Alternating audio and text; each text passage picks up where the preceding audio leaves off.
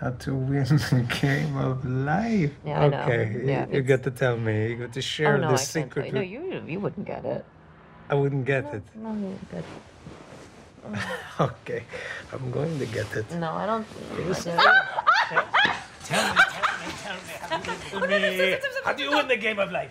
How do you win the game of life? Stop it. How do you win? Mhm. What's the secret? I need to know. On our uh, date, he said, um, he said my business is, would fail. Did you mean that? Um.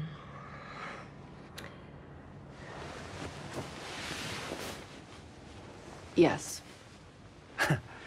I think because you don't care about what you're selling. There's no intention behind your work.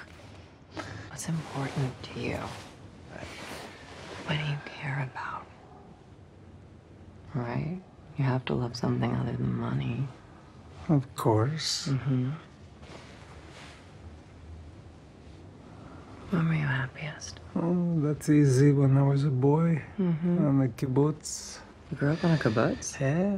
I didn't even realize that was still a thing. Wait, what was that like? It's a thing. It was, it was like uh, summer camp in America.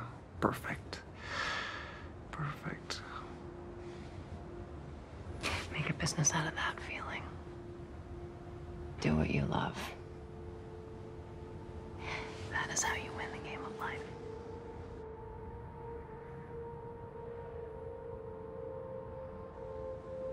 Will you marry me? No.